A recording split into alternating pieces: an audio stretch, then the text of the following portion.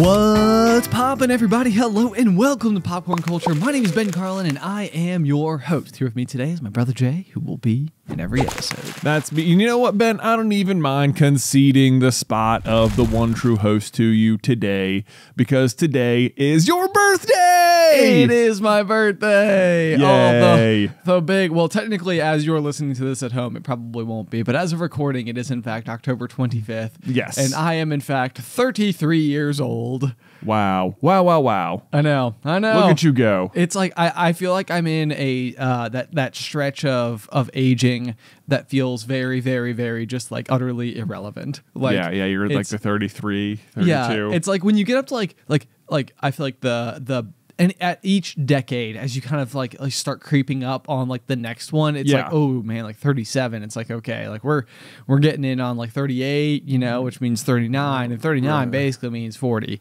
um but i feel like right now it's just sort of like i've got like a big swath of like Yeah. open open air you're before just me in your early 30s, living your best 30 life. exactly You know, Like, just the dirty 30s, as they say. is that what they say I don't what would that even mean I don't know. It does rhyme, so it's probably true. I'm gonna go with poopy diapers. Yeah, that's exactly what it means. The dirty thirties means you're changing diapers. It's not. It's nothing. Not not nearly as fun as it sounds. No, yeah, not at all. Yeah. Not- although it doesn't really sound that fun anyway. It Well, sounds I kind of just. I mean, it just depends. You know. I mean, maybe you're out there like four wheeling. Maybe you're out there doing Spartan races. You know. okay when you put it like that. It does Yeah. seem like a heck of a lot of fun. Yeah, You know, okay, so that's a funny thing because I feel like this idea of going like four wheeling or getting one of those like all terrain vehicles, you know, like the quads Yeah. that you like go out Like we did at Mike's bachelor party. Yes. Okay. So Yeah. Mm. great example, great great throwback. So for for um, GMA member Mike's bachelor party last year, we were at Snowshoe Mountain Resort in West Virginia, and Yeah, one we of the things we did was we rented these four like off road like um side by side like buggies that we like drove out through the woods and then we had like a cool like dinner with like mountainside views it was really beautiful and awesome Yeah, it was but like good. I see people all the time like driving down the highway and they've got like a trailer that they're pulling behind their vehicle that's just like loaded up with these like off-road vehicles that they've clearly taken out like Yeah. been, like mudding in and stuff and I'm like uh, it's like one of these things where I just so badly and desperately want like greater access to To the things. to that like particular Yeah. activity. But like we grew up in a household where I feel like dad's like whole mantra was like everything that we have is like human powered. You know, so it's like running, bicycling. Yeah. You know, it's like like if you were even in like for like going into like aquatic sports, it was it was just swimming. You know, we did all of those activities, but it was never uh or or more infrequently was it the like powered version right of yeah. any of those yeah yeah we didn't never have you know we had like we, we never had like a like a go-kart you know we only had access to we had canoes and not boats with motors Yes. Okay. Yeah. yeah, that's a better Yeah. example than swimming. Yeah. Exactly. Um, and and so it's like now reaching like adulthood, it's like this subject that like I constantly like want to like broach with my friends, which is just like, guys, what I would really love to do, what I would really love to do is for all of us to go and buy our own off-road, all-terrain vehicles. Yeah. And like this is like what we go and do on the weekends is just go like like drift, you know, as it were, Mm-hmm. Right. th- through the muds, through the muds through the muds and such. Yeah. And so, but like it's it like I think the thing is is that because all of those activities that we did were so like man powered, it also is like very much reflected in all of our friends now as adults who are just all cyclists or Right. you know like just general like endurance athletes or of mm-hmm. some kind or another. Right. and it's like it still feels like i'm stuck in this like no no no like this is like one of those things. In my head it's like illegal is what i'm trying to I, say. I, I understand exactly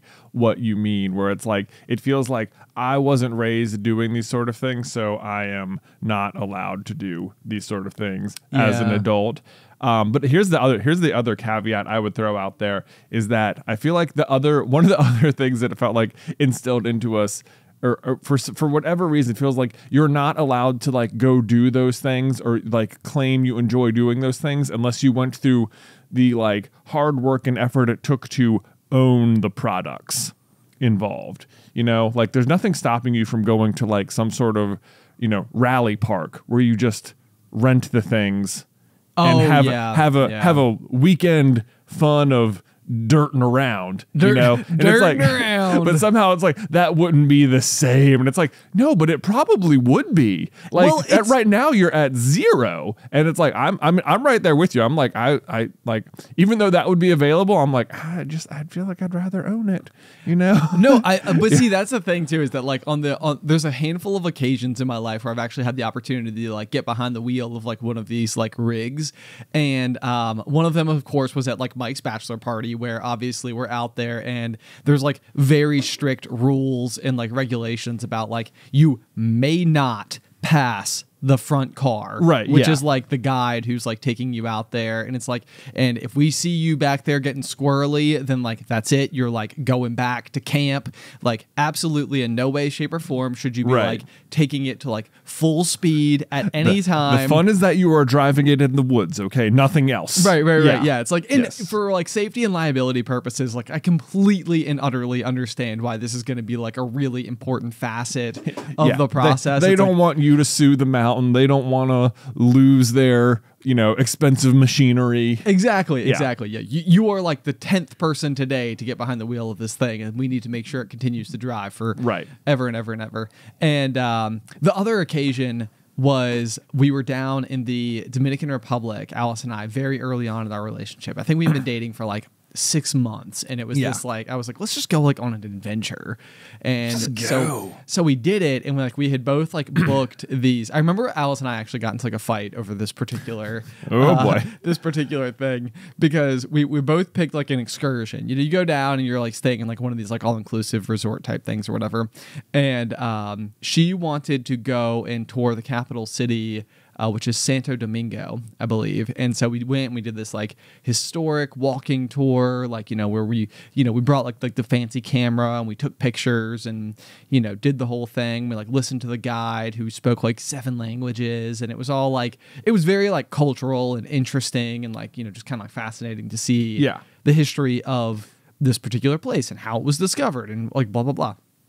And then my version of it was let's go and rent ATVs and just go hucking it through Yeah. like the mud that is in between all the sugar canes out in the fields Yeah. of the Dominican. Sounds fun. Which. I would actually say ended up being its own cultural experience for a completely different reason because you were like in extreme rural Dominican Republic. Right. And so you got to see a bunch of stuff that you just, you know, was not the resort. It was like these are like the farmers out here that like raise sugarcane. And so that was really cool.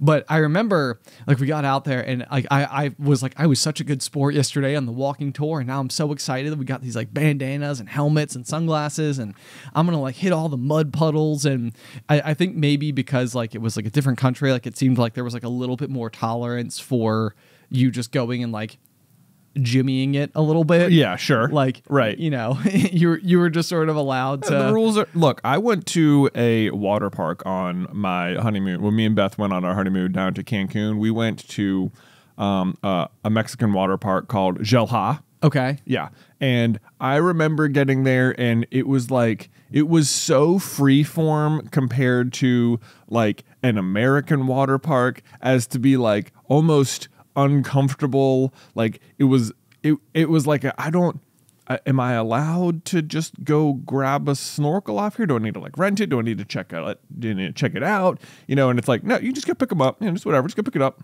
Just- then, just- then you're just using it. It's fine. You know, and it's like, okay, all right, all right. And then it's like, okay, where where do we get in the water? Where are the boundaries of where we're allowed to snorkel? It's like there's the ocean. Just go. It's like he's like like yeah, but like we're at the park, so certainly there's like an area. Like, is there are there dangerous fish in here? Are you like accounting for that? And it's like it's the ocean. Of course, there's dangerous fish. Just get in there. You know, The- the limit like, does not the exist. The limit does not exist. Enter the water wherever you see fit. Okay, you know. You have too many questions. Yeah, too many questions. Just go do it. It Yeah. was like, okay, all right. And it, I remember just feeling like, yeah, like there's no, there's no line. I mean, certainly, I guess there were lines and stuff, but it was like, it was very just like, come as you are, go where you want, do as you please. Like, there's not like, no, whatever, whatever. You're like, okay, okay. It seems like, it seems like if, I, I feel like there should be a it, there's normally more safety regulations in place at places like this that normally you're just like oh, God, these guys are like really overreacting to everything. Isn't it? That's Yeah. exactly what I was gonna say. It's so funny Yeah. to me that like when you're in somewhere that has all the rules and regulations, you're like, wow, uptight much. I know. like, okay, everything's gonna be fine. Yeah, Calm down. I know. Now I'm like, what? What if there's sharks? You know? yeah, yeah. They're like, yeah, well, there could be. Yeah, I don't know. It's the ocean. Right, right. Yeah. Yeah. th- th- that's how nature works. Yeah. Anyway, enjoy your snorkel. Good Yeah, luck. Have fun. Yeah. So anyway, we did snorkel, and I think we saw at least one like you know like barracuda out there, which is like. It's like one of those things like it's not going to hurt you because you're way bigger than it and it's not interested in interacting with you. But like you are like you like the barracuda knows that about you, but you don't really know what barracudas think, you know? That's true. You're like, mm, like it's gonna see you and be like, hey, that's a big fish. I should probably stay away from that. You're gonna see that and be like, boy, we are not in our element. We are in that we that belongs in the water and we don't. And Yeah. it has teeth and we don't. While it cannot eat me, it can still harm me. yeah, and I bet it wants to. probably. Yeah. Yeah. Anyway. Anyway, go um, ahead. So you're you're in the you're you're loaded up. You've got your bandana and your helmet. You're ready to jimmy the the ATV Yeah, through the sugar canes. Absolutely. And and again, like, you know, this is like early on in in me and Alice's relationship. So I'm like excited to like show her like how cool I am. Yeah, right. Like, you know, watch like- me be- get ready to rip it through this dirt. Yeah, I know, yeah, you're gonna be so impressed with me.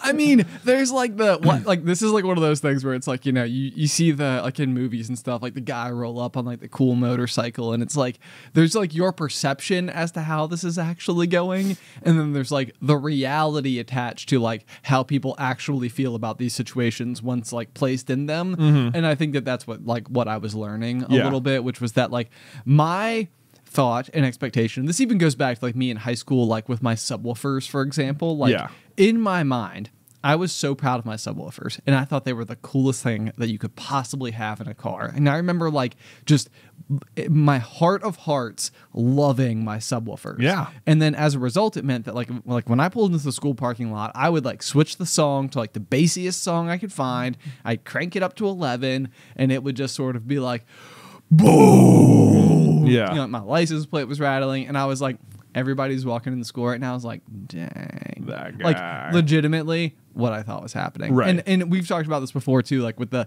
like the guy who has like the um extremely loud exhaust on his like car motorcycle or something. It's like it's like they definitely think, you know, the louder you can be, the better. And I am so loud, nobody can hear themselves think. Like, Right. that's how cool I am. right. Anyway, all directly transferable to this particular situation where I'm like, this is gonna be really cool. I'm gonna get to like really show off in front of like Alice and just like, you know, we'll we'll like go skidding and we'll like I'll have like the like the fishtailing going on and we'll go fast and you know like hit all the like mud puddles, and, like, Right. really make an adventure out of it. Alice did not want that at all, even Right. one little bit. And so, like, you know, we're sitting there, and I mean, it was a type of thing where it was like, you know, I would like swerve it, you know, and stuff like that, and get it to like just like loosen up a little bit. And it, it I mean, I could like feel her like gripping me, but not in the like adorable, like, oh, like this is like a fun way for her to like get to like, Like, oh, I'm so excited. I'm glad you're here to like, yeah. yeah, no, Yeah. it was like she was like, Ben, stop now. Yeah. St-" and it was like, oh, oh, oh, Yeah. no, like I have You are being reckless, sir. I have drastically misread this situation. Mm-hmm. But I do remember in my head thinking like I'm like, but yesterday I was so I asked all those questions. Remember to the tour guide, remember how attentive I was to the to the questions and stuff? And like you know, it was almost like it was like the direct trade here was that this was gonna be like just a hooting and hollering good time. Right, right. But it turns out like your ability to feign interest in uh, a walking tour does not directly translate in Alice's ability to not be afraid of the situation. Absolutely, Yeah. absolutely. And again, as a reminder, like she doesn't. I mean, she knows me well enough to have traveled internationally with me, but like Yeah. you know, we're still less than a year into our relationship. You know, Yeah. so it's like this is still one of those things where it's like she doesn't know how much like I personally value my own safety. Yeah. Uh, at this, like I think now as we've gotten like a lot older, she knows that like I don't want harm to come to myself or her even more than she does. Right. Um, like that. I, I even remember this being the case, like growing up all the time with mom, like you know, where she would like, you know, we, we would be doing something, you know, no doubt reckless, No doubt. and she would like tell us to be careful, and it's like, mom, I don't want to get hurt. exactly. Come on. Obviously, Jeez. I know. All that to say, though, uh, it means that in the the scarce few situations where I have gone about renting my uh, ATV slash mud terrain vehicles, Yeah. um, I feel like if anything, it has only just like left me wanting even more uh, Mexican water park freedom. yeah. You know, just to just to be able to like really like go after It just sounds like you need to get out there, like probably just like without Alice. Well, or yeah, without Alice or without like a guide who can Yeah. like, you know tell Right, you, right, like, right, right. like no sorry you can't pass the leader it's like but you know what I just want to go I just want to I just go want to go. like that's like that's like the the I don't know the like the, it's, it'd be like so freeing those places exist. Do they know? exist? Yeah, absolutely they exist. I remember once upon a time when I was working over at the concert venue that I used to work nice, at. Yeah, nice, bingo. I was at one of the at one of the marketing conferences, and it was in um, Columbia, South Carolina. okay Um, it's hot there. Okay Yeah, that's on like every billboard. They tell you how hot it is. oh it's uh, it's Yeah. like a, it's like part of like the culture It's like part of the culture. It's hot here. it's hot here It's hot. It's like we're not quite tropical enough to where it's like it's like beachy. It's like instead it's just it's just it's kind of south It's hot. and therefore hot. Yeah. But so one of the things they did uh, in the evenings is like, we're all going to go have fun. And this was like, this is the first one I'd ever been to. And so, like, in my mind, like, marketing conference was like, yeah, you're going to sit in like a room all day. You're going to listen to people talk and then you're going to go back to your rooms. Like, I think I vastly underestimated what conferences meant and that they are often like things people desperately look forward to all year as like this awesome thing. Yeah, I was yeah. like, okay uh, but like they bring us to like this adventure park like at night which was awesome there's like you know big zip line and um you know um what and like atvs and stuff Okay. Okay. it was super fun I like the sounds of this. yeah, it was a very cool. It was a very cool um uh, outing, and I remember we were I was you know we were loading up to do the ATV stuff, and I remember feeling a little bit frustrated because like you go out in like sort of like a line, Yeah. you know, so you're all, you're going through the trails and stuff like that, and of course they give you the spiel like whatever, you know, don't be be safe, don't fall. Someone actually did fall off, and it was my roommate. Oh my for gosh. the trip. Yeah, they were like all like their face was all like scuffed up for the rest of the trip. It seemed like it was this instant karma for them though, because then they had this just great story for everyone. and Everyone was constantly asking them about it, and they ended up I don't know. Anyway, not important. They ended up being like the cool kid. That, yeah, it was like uh, man, I wish I could have crashed. Oh, yeah, no. it was it was very I don't know. I remember it being very like weirdly opportunistic that, that, that like everyone sort of knew. You're like, oh yeah, Chase crashed, and then like every day in the morning they'd have like a drawing for some like you know big prize, and like the morning after he crashed, they drew his name out of the drawing, and he won like an iPad, and like you know then he and they're like, now what Oh. happened to your face, Chase? And it was like then you know he got to tell his whole funny story to everyone. It was like yeah, it was like oh man, every just it was like a, a weird way to win a lot of points through a lot of luck and circumstance over there. Okay, about this? okay. It's like yeah, it's like how, how did you make it in life? Because everybody's got that like right place, right time Yeah. story. Yeah. it's like, well, there I was, laying Yeah. face down in the mud. Yeah. and uh, I, I don't want to undersell Chase. He was extremely good at his job and very much cared about it. And I think now works at Legoland and is one of the just the nicest people ever. But anyway, Way to go, Chase. Way to go. Way to go. I remember you crashing that ATV. Uh, anyway, though, I remember being frustrated because, like, where I was in line was like, like all the was like behind the person who was really cautious, you Oh, know, and it was okay, like I could, and it was like very clear, like everyone in front of them was just like gone, and like everyone behind this person was like, you know, just having to kind of there, there's no way to pass, you know, you're just on the trail, Yeah. So it's like I guess I'm just gonna have to kind of go at this this slow pace here. I really wish I'd been right in front of you because then I really could have gone. That would have been way more fun. You're seeing the problem. Yeah. You're seeing the problem. See, even you're you're hmm. telling me of like the, the place you can go. Yeah. And the problem still exists. Well, the problem could exist, but there were plenty of people in front of that person who just got to rip it and have fun. oh, Yeah. I yeah, see. it's there. Could you have gotten around this person? I, I, I, I mean, I don't know. Okay. I don't really remember it that well at this point. I just remember the feeling. I'm surprised that this isn't like the most crystallized memory of your entire life. No. Given that it's obviously the opportunity of a lifetime to, to drive an ATV as fast as you as can. fast as you want. Yeah, that that was it. I remember one.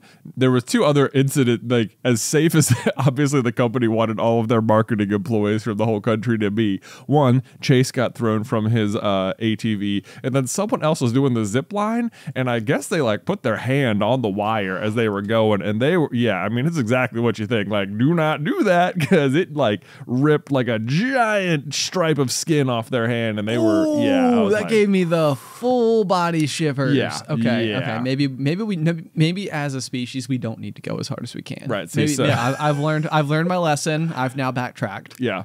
I yeah. wouldn't I wouldn't mind a quiet afternoon inside with a nice a nice paperback.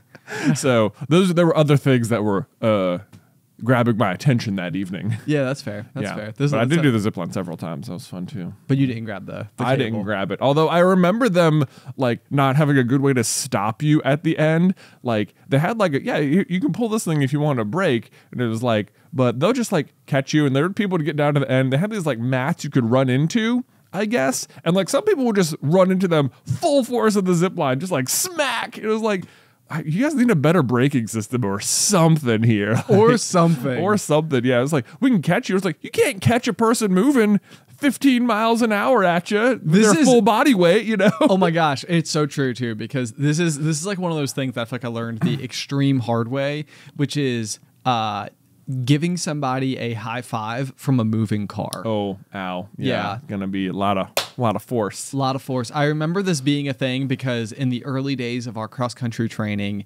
uh, we would be out and like our, our coach would have us like all meet at like a pull off on the parkway or something. So like we'd all, you know, it would be like summer running. So like it wasn't like officially like sanctioned events yet. Everybody, Right. like all these high school students we get out there like in, you know, our, our little cars and stuff. Right, it's like run club, so it's not mandatory, but like it was. Anyway, it's like it's not mandatory, but if you want to be on varsity, you better be there. Better be here. Um, but like I remember there being a day that like I think somebody was showing up late and they had like another like like one of the other, our teammates in the car or something. And so I've already like left the parking lot and I'm like running down this like stretch of the parkway and as they come up and you know like I extend my hand to like give them like a high five in the car as they go by. And of course they're going at like, you know, 20 miles an hour, which means it was a 20 mile an hour high five. Right. it was like I think both of us just almost broke our hands. Right, yeah. It was like- turns out. Th- that was a bad idea. Tur- Yeah. Turns out when you give somebody a high five, even a good high five, Right. it's not a 20 mile an hour high five. Yeah, no. Yeah. So don't do that. Don't do that. No, no uh, fast motion high fiving. Gotcha. Yeah, yeah, for safety reasons. Yeah. Anyway, uh, to, to shift gears just a just a smidgen here. Um, th- it is in fact, yeah, it's my birthday, which is which is fun. It's Yeah. very exciting. Uh, but also more importantly is that tomorrow is officially Addison's first birthday. What? You've been a dad for a whole year. Can't believe it. Can't Goodness believe it. me. It it definitely flew by. Yeah, It there's no doubt, by. right? It's just like. This morning I was like watching her in the living room as she like, you know, sat up and then crawled across the room and then like pulled up on like a bench and then like I don't know, just like, you know, looked at me, held herself up like in a standing position, was clapping and smiling and laughing. And I was like, you just did like like every single one of the like like like last 7 things you did, all of them are like like fun new skills. Right, It's yeah. like and you just did you just did all of them Just all, did all at at once. once. Yeah, it's like no big deal. Like what? I know, very impressive. Very, I, I loved it. Um, this past weekend, we had uh, her birthday party, which I think was um, um, maybe maybe possibly verging on slightly over the top for a first birthday party. I mean, that's how the what you're going to discover is that next year it will not be. Yeah, that's fair. That's fair. It's like it's like okay, like the, the firstborn's first birthday, Right, Especially like- for the parents, it's like this. This is a big deal. Like, we did a whole year. Well, that's the thing, especially about like the firstborn first birthday, is that it's like they like Addison probably won't remember it that much, but like the real celebration is like you and Alice made it the whole year. That's true. That's Yeah. true. Yeah, there's there's a there's like a whole new piece of perspective, which is just like how impressive it is, and like even even now, it's like, you know, I I was talking with you and Beth last night. We were over at y'all's house, and it was just like the fact that y'all have like successfully, uh, you know, raised three boys, two two of which at the same time. Yeah. you know, it's just like I'm like, man, perspective is like one of the most powerful components of existence Right. because you're just like all of a sudden you're like what you guys did is not like easy Yeah, Like, I know it's hard for sure. it's very it's very cool um but yeah no it's been it's been really uh it's been very exciting as we've we've kind of like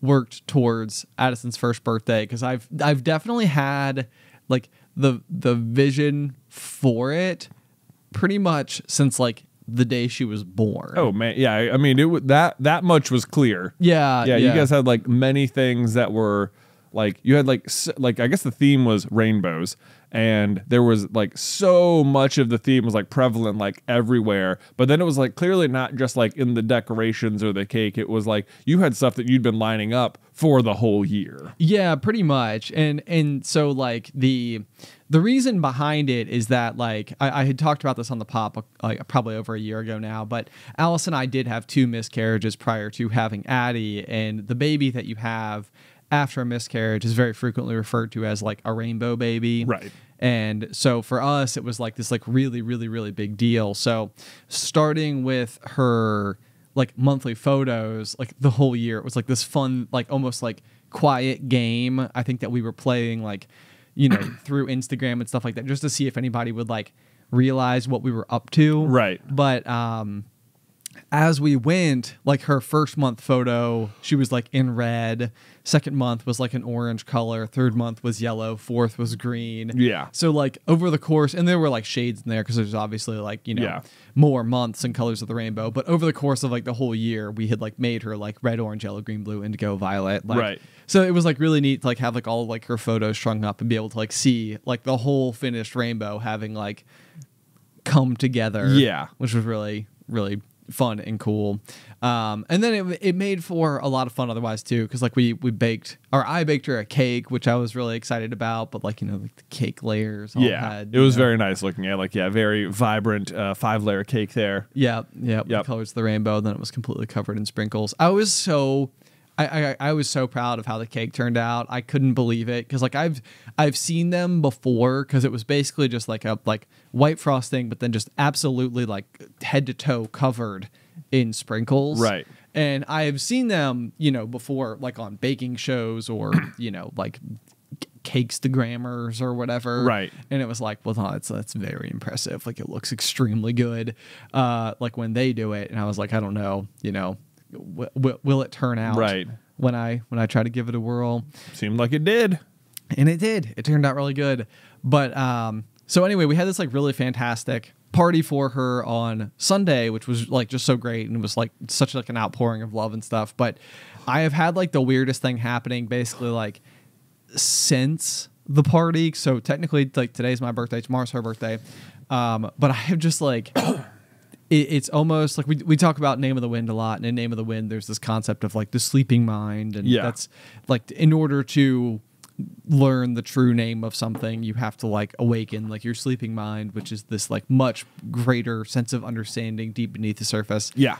well i feel like i have been having this like just like total deep like very uh I don't know, like like solid slab of sadness like sitting deep inside of myself. Yeah. But it's like I'm not even like consciously thinking about the sadness, but like as like I walked into the office yesterday, like Kat who works here was like, "Are you okay?" And I was like, "Not really." But yeah, you did not seem okay yesterday. Yeah. But like what was what is the sadness? Well, I think it's just like it's like like Alice wears her emotions like right on her sleeves, right? Like so Yeah. she's you know over the process of the past couple of like weeks, she's you know like cried a whole bunch of times or like Addison uh, started saying like mama Aw. for like the first couple of times, which of course like completely brought her to tears and it's been really cute.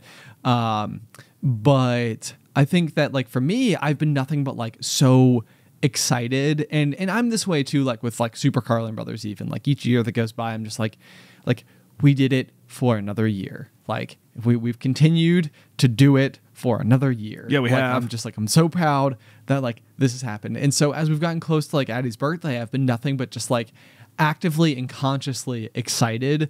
But I almost think that like my sleeping mind is like hardcore mourning like like the end of the first year of her life basically Yeah, like you, Um, it'll, it'll never be the first year of her life again. Exactly. Yeah. And and so I think that like yesterday I was feeling this like very very deeply inside of like my being, but it wasn't even the type of thing that like my brain was like actively acknowledging. So I, I was feeling all of like the weight and emotion and everything to do with it, but like my my brain just wouldn't let me like consciously think about it for some Right. reason. Yeah. And so this was, I, I think, more than anything, like it makes sense to me. Like I, I understand like why why I'm sad. Like you know, it's not like hard to for me to like wrap my head around, but it did definitely bring to light like a kind of emotional being that I'm not necessarily sure that I've um actively like acknowledged before which is almost like like this thought of of your sleeping mind so to speak just for the sake of the example to be experience experiencing an emotion that is actively separate from like the one that like I'm like wearing on my face Right. or like running through like my train of thoughts necessarily Okay. um, so it's like I'm like that's this is like an interesting thing to have now reflected on and like maybe like learned about myself is that like there there are certainly occasions where I can I like I can tell that I am like frustrated or angry or mad or sad or something like that, but it's like but but like I can't even tell you why. Oh my gosh, dude, uh, it is this this exact thing happens to me like not infrequently. Interesting. Okay. Yeah, where like I will, you know, and like like Beth is like really empathetic and she will like always pick up on it or something. And it's not like I won't be able to feel it, but we'll just be like driving somewhere or just be, you know, I'll be around the house and she'll just, you know, I I can like tell that I am like very upset or like really angry. And she's like I just wish you could just tell me like what was wrong. And I'm like I wish I could tell you what was wrong. I wish I I knew what was wrong. Right. and it's just like I like I don't I don't know. I'm just angry. And it's like I like really have to like just sort of like let the emotion happen and like try and like focus in on like what is actually causing this and it's like like after enough time it'll eventually sort of like bubble up and I'll realize like okay this this one this this like triggered something and it's actually this other thing that's been bothering me for maybe a while and now it's sort of like surfacing and it's just like but in the meantime I'm just like angry or upset about something and it's like I like I I don't know why I j- like I don't I don't know I don't know what's making me so mad right now I You know. and it's like it's very very frustrating because like I like don't like feeling the emotion and I don't know what's causing it. It's just like happening to you. Right. No, it, it's it's really it's really really really strange. And and again, like I, it's funny because even as you're describing it, like my mind is even still going like further into like the like little name of the wind example type things. But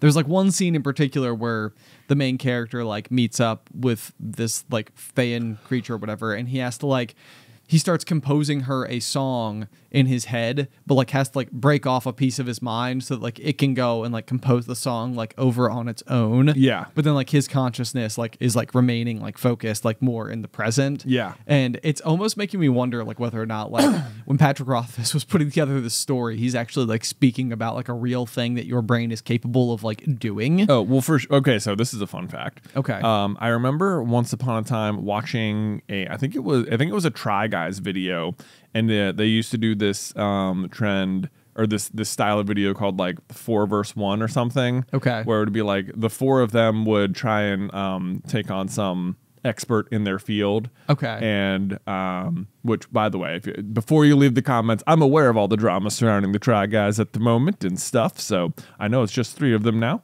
but uh, this is just an old video. right. Okay. Anyway. for, for reference sake. For reference sake, I got it. Oh man. Um, anyway, uh, so one of the times they were doing it though, it was crossword puzzles. Okay. And so it was like they're gonna, you know, they were gonna go up against this like champion crossword puzzle guy who does like you know can you know finish the New York Times in like under ten minutes or something, you know, every, Okay. you know whatever. And then and it was a you know it was a really informative video because they tell you like, oh, did you know most crossword puzzles have like a theme, and if you can figure out like the center word across the middle, like that probably is gonna help inform a bunch of other things. It was like, oh, there's things I didn't know about crossword puzzles, you know. Yeah, I've definitely Yeah. always thought crossword puzzles was more just like a, a game of like trivia that you just play with yourself. Uh, yeah, yeah, but it's um, and I think yeah, for to some extent it is, but it's yeah. To me, it was always just like uh, it's, it's just a miracle someone figured out all of these letters could fit together and make words. Oh, yeah, you know, yeah. right? Like then no one had any intent behind it, but sure enough, there is intent behind it.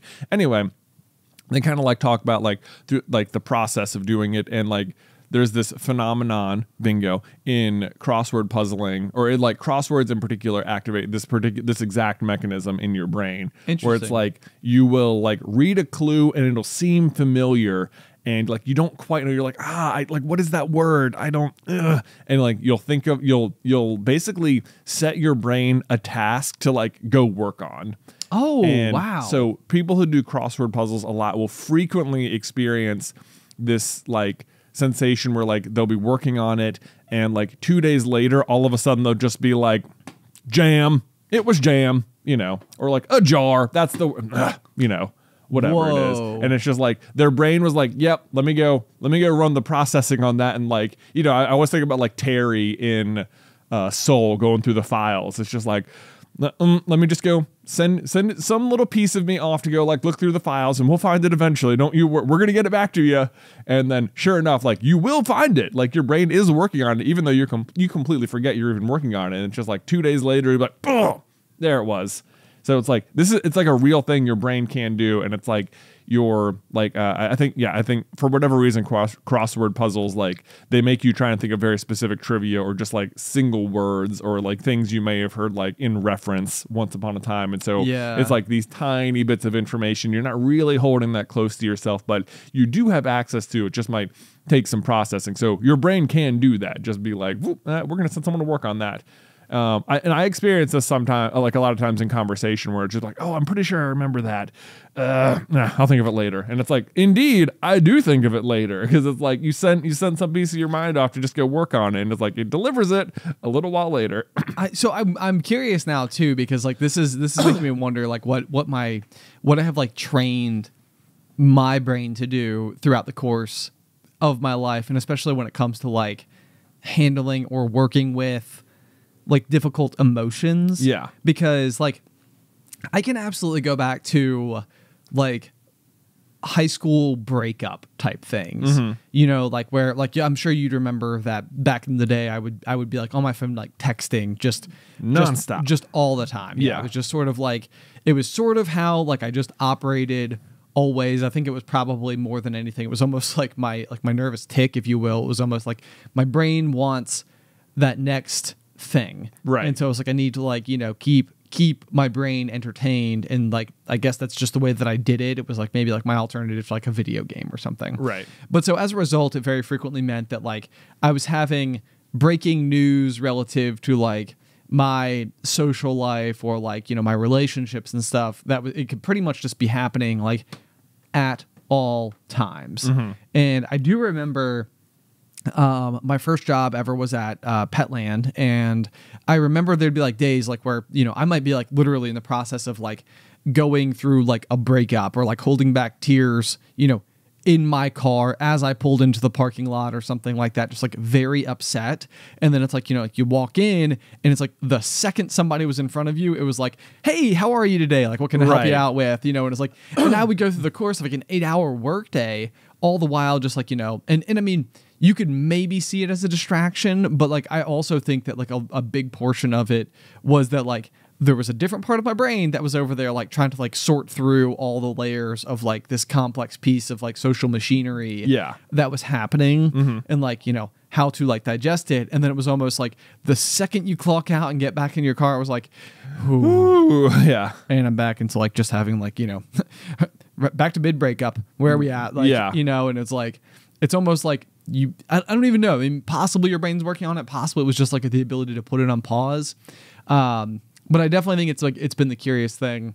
That I, again, to bring it back, you know, full circle as I've been approaching Addison's first birthday is like I haven't been worried about it. I haven't been stressed about it. I haven't like no part of me has been anything other than excited about it. But like I could absolutely tell that like yesterday, especially like I think after her birthday was like officially officially over, it was like something was going on. Right. You know, like I was like I was like super super sad. Um so I don't know. It's it, it's uh, your CrossFit example is definitely like it's it's interesting to me because it's you know it, it, it like I, I like to think that your brain could do something like that, but like maybe that confirms it a little bit more. Mm-hmm. It's like a much more like real world Yeah, absolutely. like studied example. Yeah. yeah. Yeah, and I mean, yeah, I don't know if it's like a, I don't know if that's different from like just like compartmentalizing emotions or anything. Maybe it's like a, a similar sort of function there. Yeah. but um, that I don't know. Parenting, I think in general, just tends to make you like a lot more emotional all the time It- it- that- about everything, and especially like yeah, it is like the the first year. Like I remember, um, all these things with like uh like Luke and the twins growing up and uh getting older is like there's there is this weird thing you start to notice where like so often in life when you're trying something new or you're like picking up a new thing it's like you're just encouraged to just like oh yeah well, it doesn't really matter if you fail the first time because you can just like keep trying it again Yeah. you know but like with aging, it's like they will only be the first time right now once. It's not like, okay, you know what? The next time I'm um, you know, teaching my child how to walk for the first time, I'll do it differently. And it's like, well, no, you won't because now you can't. like, like, It's like, yeah. in some capacity, it's sort of like, yeah, like this, that the opportunity to do that for the first time is already kind of like right. come and gone. Right. And it's like, well, yeah, maybe you'll have like a different kid or something, but like that'll be a different kid. It won't be how you treated this kid that way. Like the way you treated them this way the first time is the way they will have been trot the whole time. Right. Nice. Yeah. Yeah. I think that was, You know what I mean? Yeah. Not yeah, the yeah. right word. So, certainly can be. so yeah, everyone knows what I mean. You Yeah, get it. I follow. Yeah, yeah. So there's like I don't know there, and it's like I think you start to realize that it's like oh yeah I can't I can't do that for the first time with him again. It's not like oh yeah the next time I do that for the first time it'll be I'll do it differently. It's like because because you already did it. But Right, right, right. Yeah. Yeah. No, it's a good, it's a very good point. It's a very good point. Um, so I don't know. Yeah, it, it it even brings me into like the the inside out mindset a little bit, like which I, I've always felt like was such a fantastic way of like starting to like visualize how your emotions might be like operating inside of your head. Yeah. Like you got like the little console and it's like, you know what? Anger is completely at the wheel right now. right, Um, but like when you think about like this compartmentalization of like emotions, it's almost like it's almost like sadness is over like in a cubicle right now, like vigorously working away. Right. You know, like with with like the console's like laptop. yeah. You and know? like the circle of sadness. The circle of sadness. Yeah. yeah. It's like it's it's inside of like its own space. It doesn't necessarily like be like it's not like the forefront. And I've still got like joy like hammering away up there, like doing doing all her stuff. Right. You know, but in in the meantime, yeah, sadness is over there, like big big things going on. Well, that's exactly, but that's exactly what happens in Inside Out, where it's just like, like, um, for the most part, like, like joy is trying to compartmentalize sadness, like while Riley's going to school, and it's like, I think uh, for the most part, for like minor, you know, things you're doing throughout your day, it's like, yeah, it, okay, that made me sad, but it's easy enough to just like push that to the side because I have more important things.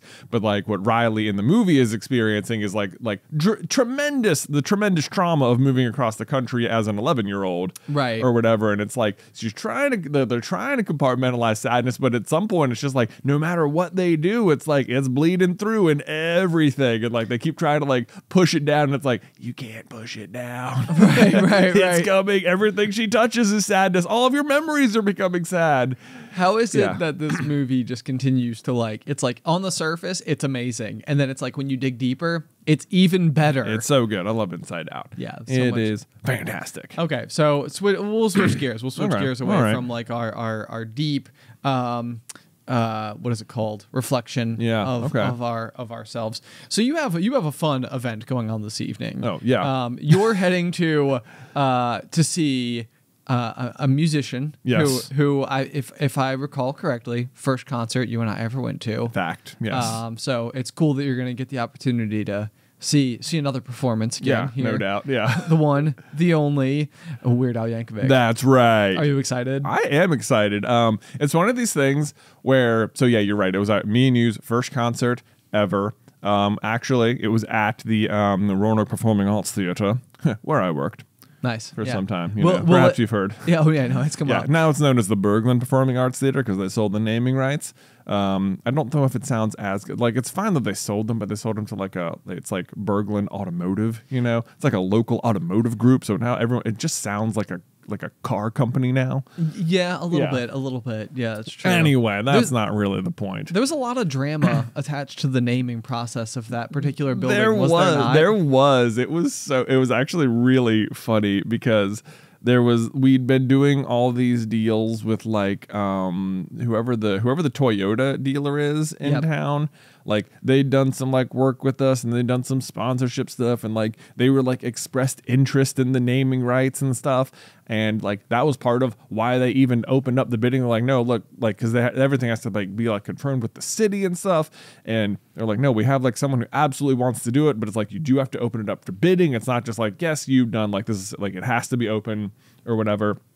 And they had just like opened up like a dealership like you know half a mile down the road Yeah. on um you know 581 It- and yeah, it's like right next to the concert venue which is also right next to the road. So it like had Toyota gotten it they would have had just like a whole mile of Toyota advertising basically all the way down It would have been it would have been pretty huge because exactly where they placed the dealership was. It almost feels like they were doing like these two decisions like completely in tandem absolutely with yeah one another. Yeah, it was like we're gonna have like our huge name on the massive building that you drive by, and then right after that you're gonna see our massive car dealership. Yeah, that's exactly what it was. And I mean, for all intents and purposes, it seemed like it was just going to go off completely without a hitch. They weren't going to have any problems. So they open up the bidding and they put in their bid, and it's like I guess, uh, and then just like out of nowhere, like completely like out of left field, like I guess Berglund got wind of it and was like, "Uh, we're not going to let that happen." So, they just, outbid them. They just outbid them like at the last second, and it was like. What? it's like like everybody's already tentatively calling it like the blank de- Yeah, the blank yeah. Toyota dealership. I know. It was like, uh, okay, I guess we're shifting gears. Literally, so that was kind of funny. I mean, it was like, okay, I didn't. Well, apparently, you know, you got swept up in the, you know, local car automotive dealership, you know, Yeah. drama, political shuffling going on there. But that's how the name came about. Anyway, not important. Um, that was the first uh, concert you and I ever went to. Ironically, it was also the last concert I ever worked on at the um, Oh, at no the way. theater before like I left. Yeah, so that was cool. And now, um, and I remember like it, would be like it was sort of this funny thing when I was working on it because they're like, okay, um, do you want to work on Weird Al? I was like, absolutely, that's fine with me. Theater show, I got it, no big deal. And like it, like completely sold out. And I think like no one else at the building seemed, I think, like understood Weird Al at all. You know? Oh, really? Like they were just like, yeah, oh yeah, kind of like funny guy from the '90s, right? Like I was like, when they handed it to me, I was like, well, this is, just, I'm not even gonna have to work on this. You know? It's like on sale, sold out, right? you know, more or less. I was like, this is gonna be so easy, and uh, it was like one of those things where like I like I did the exact same amount of work I did for every other show, and like people kept coming in like, dude, really great job selling this one out. Like, wow, like really surprised. Now it's just like, I really didn't do anything extra at all. you know, Weird Al's just super. I was great, just like, you know? yeah. It, was, it turns out Weird Al is just like more popular than you guys realize. I don't know why it's surprising to you, but whatever. And uh, I remember like actually staying like watching that show, and it was hilarious. Um, and so when it was coming back, uh, when I saw it was coming back, I was like, oh man, you know what? You know what? I want. Let's get tickets. Let's go. It's gonna be fun. And so uh, I bought tickets like forever ago, and I like looked at the calendar this week. I was like, oh my god, it's this week. Gotta gotta figure that out. Um, but so I'm pretty excited about. it. I'm not sure he like dropped a new album or anything though. It's not like so. I don't know if it's just gonna be like tons of old songs, which would be pretty cool with me because like I, that's mostly what I know. Yeah. Um, or I think we talked to someone one of our Patreon calls. It's just like a bunch of original songs, and I'm like, okay, well then I'm just gonna have to like go with it on the fly. I, I mean, no matter what, I'm sure it'll be just. but uh, I think it's gonna be yeah, I think it's gonna be very funny. an absolutely great time. Have you ever Yeah. met Weird Al? I have not actually met him. No. Okay. Yeah, he, Uh, uh, he came to the the venue once while I was there. It was that last time, and uh, there wasn't I wasn't a part of like doing the meet and greet or anything for it. So bummer. I know. It- Bummer. Pretty cool. It'd be pretty cool. Would have been cool. So, do you have an outfit picked out? Are you gonna like? Oh man, not not in particular. I certainly can't wear what I'm wearing right now. Oh, no, I'll tell you no. that. Yeah, Well, this yeah. is not weird Al attire. you, you'd look like a square. I know, I know. You got to wear like some sort of like I know like the Hawaiian shirts are like sort of a thing Weird Al concerts, and Okay. if I remember last time, a lot of people had like like tin foil and stuff going Okay. on. Yeah, like You know, I mean, people dress weird for Weird Al. There's no doubt. Are you gonna you gonna you gonna incorporate a little little tinfoil? Well, I, the old I'm? I'm certainly not going Into the to. drip? Yeah, into the drip. Yeah, we'll see. We'll see. I don't know um, at all what I'm gonna wear. Yeah, that's that is TBD at the moment. TBD. Okay, okay. Yeah. I love it. I love it. but I'm Um, excited about it. I'll report back on how it was. I'm sure it's going to be hilarious. It's like it's like I don't like actively seek out like Weird Al music, especially these days, Uh, because he's not like making tons of new stuff or anything. But it's one of those things like when you start listening to it, it's so funny. Like it seems like he's just like oh, just change the words to some songs, but it's like, dude, I think like underrated, one of the biggest like comic geniuses. Like you, you know, know. it- it's like one of those things where like I've I've wondered before. Like I know like playing the Super Bowl. Uh, I don't know how to put that in air quotes. Playing the Super Bowl, I think, is like a like a very like notable accolade that like a musician can have. Yeah. Like sometimes I wonder, like when you get into that like upper crust of people who have like made famous songs and stuff, whether or not having them been like parodized. I'm making that word up yeah, a parody Yeah. of their song, uh, like by Weird Al. If there's if that's almost like a like a like a um, I'm an iconic musician merit badge. Oh yeah, you like, know what yeah, I mean? Like Weird Al covered my like- song. Right, right. Yeah. It's like it's like I got my Super Bowl right here. I've got my Grammy. Got my Weird Al badge. Like Yeah. you know, you kind of gotta you kind of gotta like fill out the old vest as it were. Absolutely, absolutely. The question is, Ben, will Weird Al ever play the Super Bowl? That'd be the best. That would be the best. It'd be Yeah. pretty great. I feel like we're living in the the era of nostalgia still Yeah. long enough that it, it feels it feels possible. Yeah. And what would be really cool is if they had him do like perform some of the songs or even have like the other artists come out That and would be that like, would that's what would really sell it. it would be so cool, like you know, if if yeah, like they're doing, like he goes out and is performing Amish Paradise, and the guy who sings Gangsta's Paradise, like comes out and is singing Amish Paradise with Weird Al, Right. covering his own song. Yeah. Oh man, That'd be crazy. that That'd would be really crazy. Yeah. Yeah. that'd be really fun.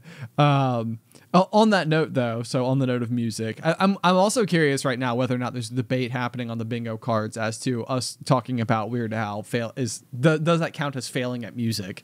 Um, but this weekend as well, uh, I have a big musical event coming up. I'm going to the When We Were Young Music Festival in- in, Las Vegas, um, which I am like so absolutely ridiculously curious to see how it, it's going to shake out. Because I know that like from the very beginning when I looked into doing this particular event, there was a lot of speculation that um, you looked surprised about something. Sorry, just I was like, as you were as we were talking about whether or not the artist of Gangsta Paradise could come out and sing with Weird Al, I was like, I think he might be dead. Oh. and so I was just looking it up to confirm whether or not. Uh, and the uh, the artist in question is Coolio, and as of uh, last month, uh, like September 28th, so extremely recently, uh, he has passed away. So No way. that is yeah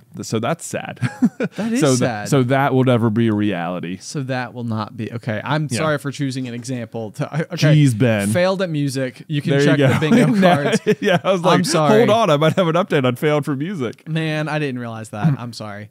Um, we were just talking about coolio earlier this week we were because we were talking about how he did Kenan and Kel's Oh, opening yes. number Yeah. for for the uh, kenan and kel show the Kenan and Kel show, and it was always so like it was like iconic and amazing, but also like didn't really fit the vibe of the show at all. Sure. And we were like, what what happened that Coolio was like, yes, I would love to come out and be a part of this Nickelodeon intro song. Yeah, and we actually looked it up, and I can tell you exactly what happened. Curious listener at home is that Kenan and Kel from Kenan and Kel, before they were on that show, were on a variety show called All That, which was basically Saturday Night Live for kids and aired on Nickelodeon. And much like SNL, every week they would have a musical guest, and Coolio had been the musical guest several times. Now, Kenan and Kel at this time are like 12, 13 or whatever. Like they're very young, but they're, you know, they, you know, they look up to him and think he's this really cool rapper of their generation.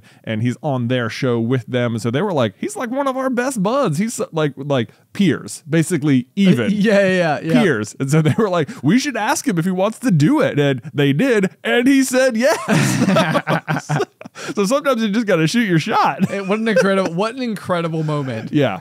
Oh man. Okay. Well, I love that story. Yeah. That's pretty great. Yeah, that Anyway. works out. That works out. Mm-hmm. Uh, maybe one day that'll be us when we we finally get to do like some some behind the scenes for like some type of major franchise. Be like, hey, can we help? And they'll be like, yeah, sure, why Sure, not? yeah, get in here, man. Get yeah. We take your your word for some stuff. Okay, I like it. Yeah. I like it. It's exciting stuff. Who knows? Um.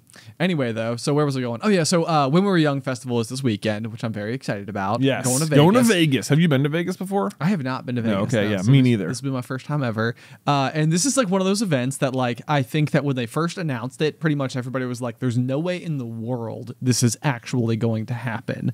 Um, but I was like, you know what? I'm gonna try it. I'm I, I'm just gonna like roll the dice. Ha.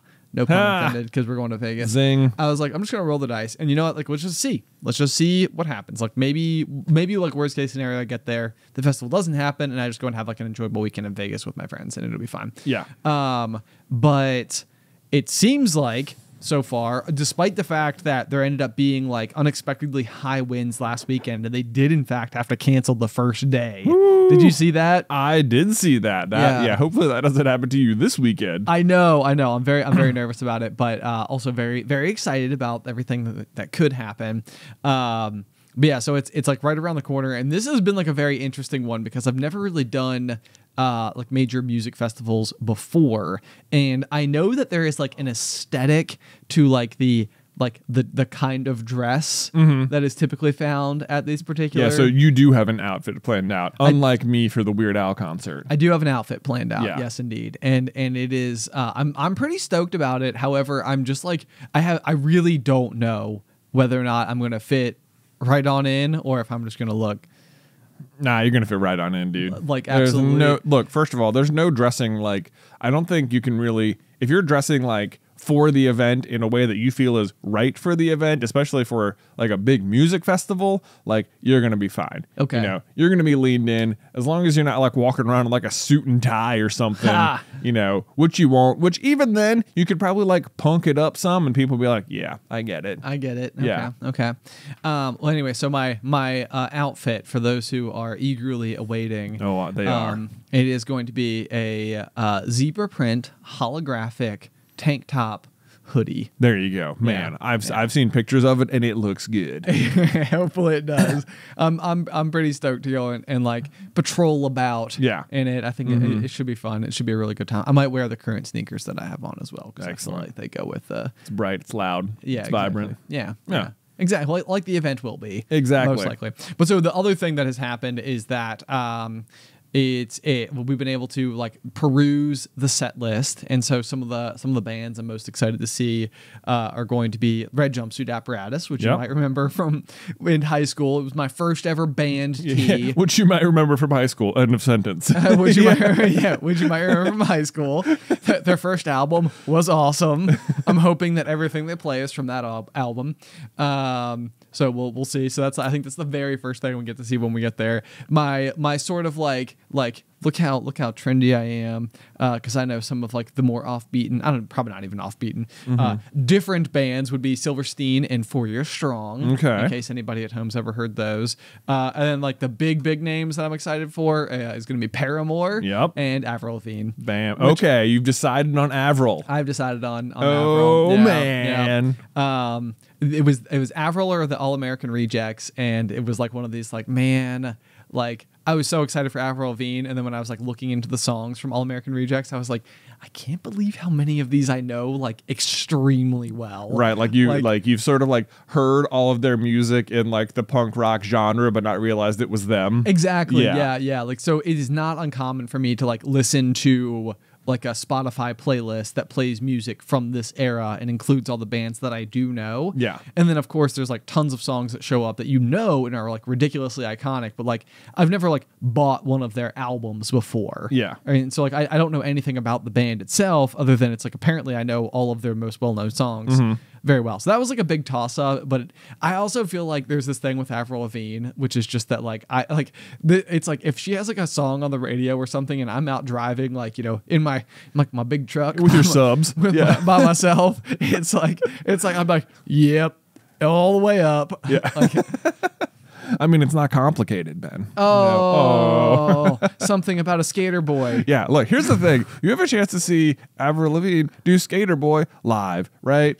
So, I mean, what's better no one's that? to blame you for, for, you know, choosing to see that. I feel like I'd be able to just like like just do like a standing backflip afterwards. I'm gonna be like Probably. so like yeah. invigorated. Yeah. You're going to be in your in your holographic zebra vest hoodie. I know. Yeah. Yeah. Yeah. Yeah. It's. I mean, maybe people will just be expecting it. Probably. Maybe probably probably multiple people will even be doing it. Probably so. Yeah, maybe maybe not even. I mean, who's to say? Probably a lot of kick flips. I imagine lots of people just have skateboards at Avril Lavigne concerts, you maybe- know, waiting for the song. Right. Yeah. Right. Yeah. no, just in case. Like, yeah. Uh, I'll bring like a like a tech deck. yeah, just like yeah. Grind. Boom.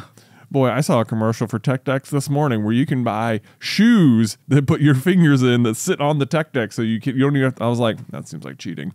So they attach to the tech They deck attach to it. It's like as Oh. if it's like you're snowboarding on wheels Oh wow. with your fingers. How embarrassing for tech I deck. know. I was They like, should- wow. They should bail on that promptly. Come on. But then at the same time, like you see the tech deck commercials where like these people are doing legit kick flips with the with the skateboards like off of ramps and catching it and going back down. And I was like, that feels impossible. This is they gotta fix this in post. Like no one can actually do kick flips with a with a tech deck. Certainly they can. Yeah. I mean, it seems Certainly like such a they- thing. yeah. I and I remember I remember this was another like middle schoolism is that everybody got really into tech decks. So Yeah. like you know you'd bring them to school with you and you'd have them like you know in your pocket. Yeah. Because you didn't have keys or a cell phone or anything. Yeah. Why do we even have pockets? I know. um, if not to just store tech decks. And I remember what would very frequently happen is the wheels would fall off while they were in my pocket. So I'd like Oh. pull mine out between class and be like, oh man, I gotta like, where's my wrench? You yeah, know, that's the thing. Not only did everyone have tech decks, they had a full maintenance kit on Yeah, them. uh, just in case. Set Yeah. of backup wheels.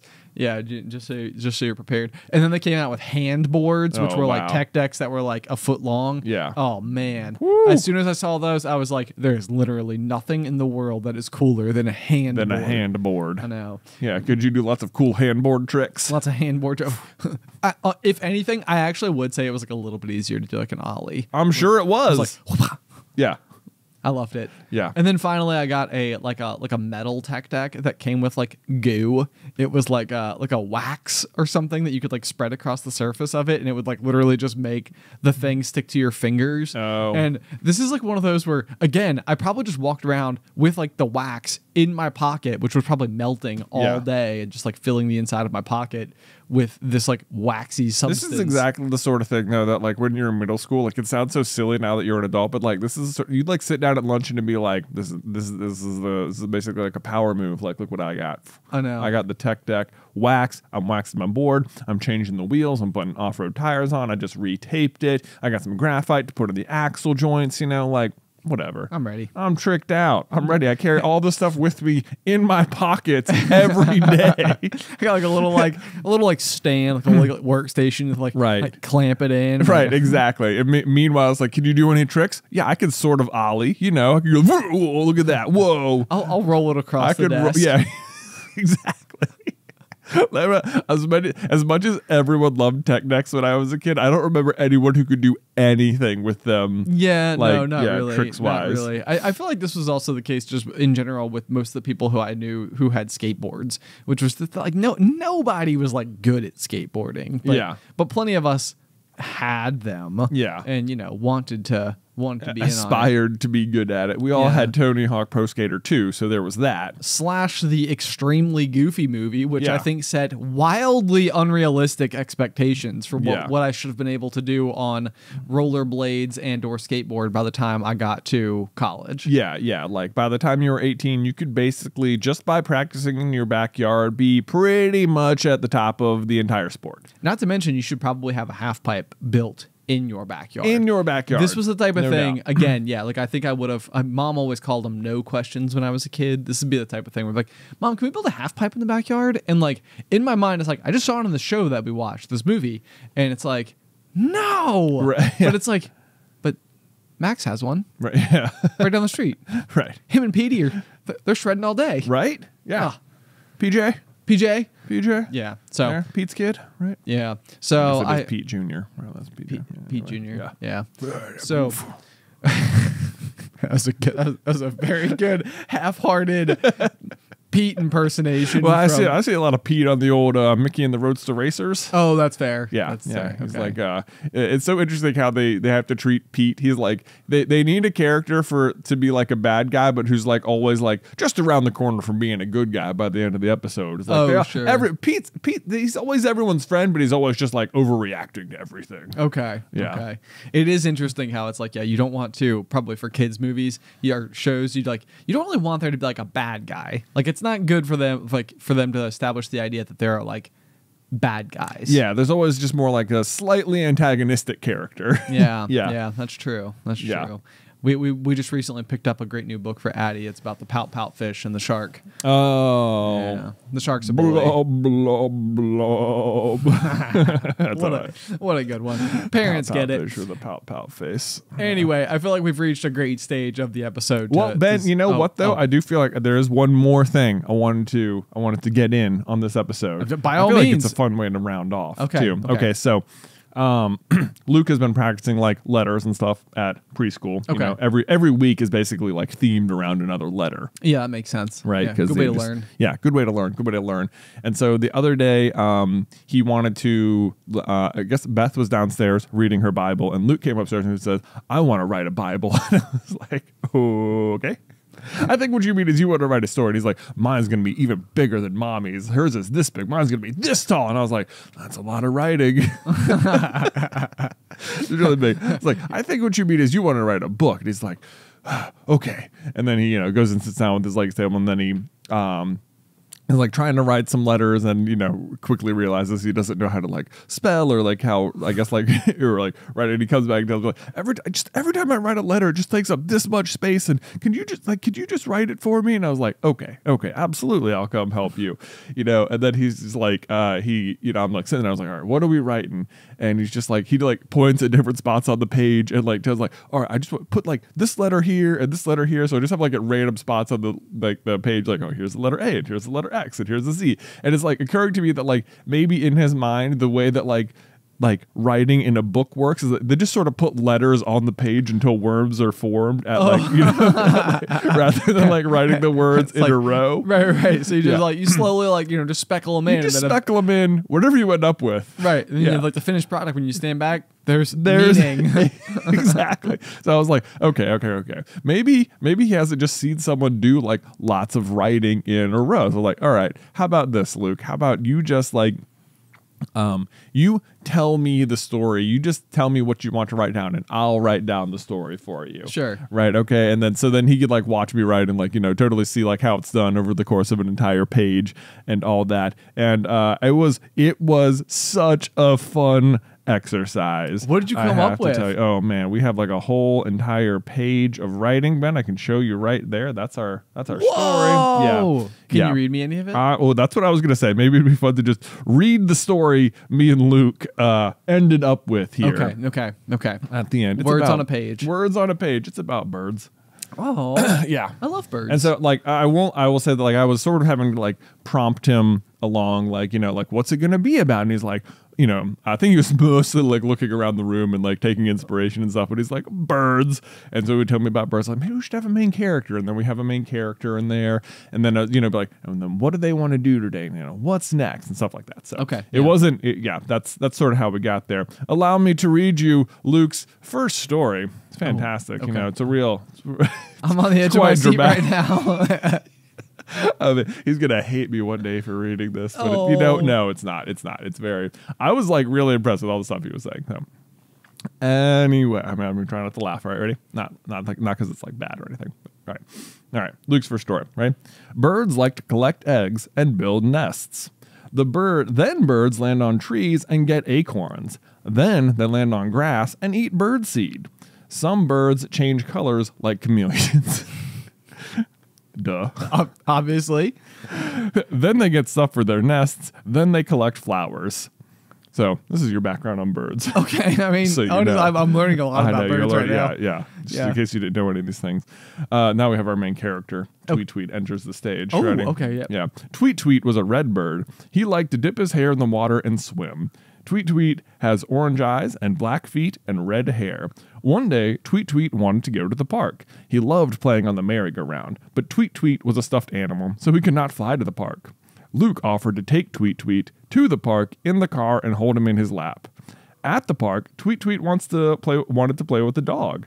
Tweet Tweet fell to the ground and Luke picked him up. Then Tweet Tweet wanted to ride on Luke's head. He rode on Luke's head all the way to the merry-go-round. The merry-go-round was fun. Then a dragon came. Amazing. a nice dragon who hugged Tweet Tweet. Oh. Then another nice dragon came and kissed Tweet Tweet. Suddenly, oh man! Suddenly, it began raining popcorn, and Tweet Tweet ate as much as he could. Tweet Tweet saw an airplane flying in the sky and said, "Whoa!" Then he got stuck in a giant shoe and yelled, "Help me!" Oh boy. Luke heard Tweet Tweet and helped him out of the shoe. Tweet Tweet was so tired, he took a nap on a giant sock and began snoring. I'm sorry. Uh, Tweet Tweet woke up from his nap and burped, then rolled over Luke's head. Then he had to go potty and pooped. the end.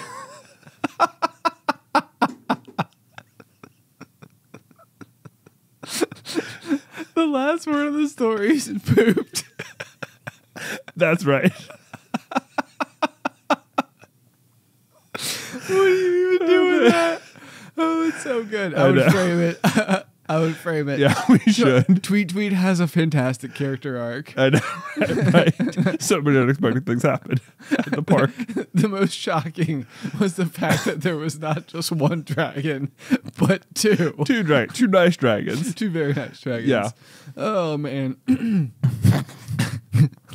Anyway, I hope you all enjoyed the um the narrative brought to life by my son Luke and his crazy imagination. Well done, Luke. Well done. Well it was done. a really, it's really, truly fantastic and original story. Yes. When it comes down to it. No doubt. I, I, I mean, I'm, I was, I was on, I was on the edge of my seat the whole time. Um, I'm just glad that it, that it went the places it went, Yes, exactly. and we're all Yeah. better for it. Yep. Yep.